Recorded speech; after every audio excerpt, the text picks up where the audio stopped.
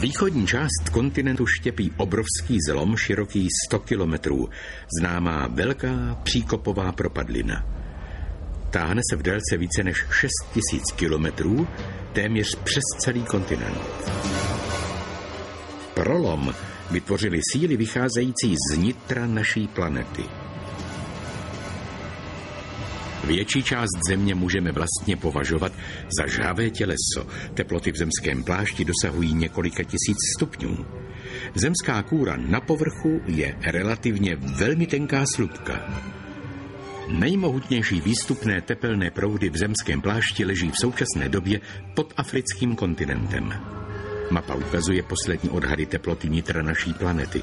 Je na ní vidět extrémně silný proud o velmi vysoké teplotě směřující k Africe. Tento výstupný proud v minulosti zdvihl kontinent tak velkou silou, že zemská kůra praskla.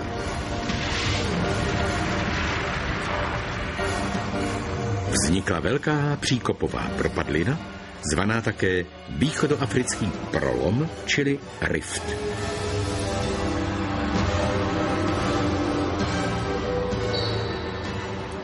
Velká příkopová propadlina rozděluje rozsáhlé plochy savany na několik odlišných ekosystémů, které způsobily, že se velké množství živočichů vyvíjelo různými směry.